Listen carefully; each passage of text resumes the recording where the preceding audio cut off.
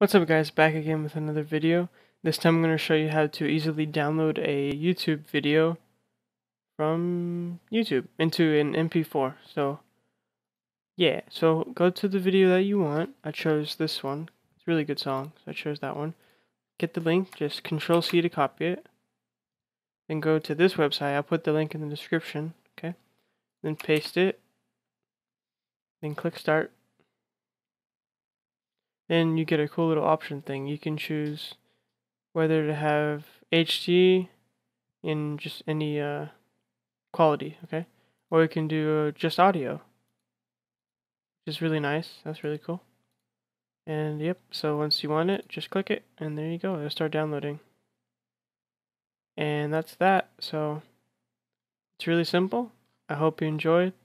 Leave a like if you like this, and uh, yeah leave a comment if you want a different tutorial. So peace.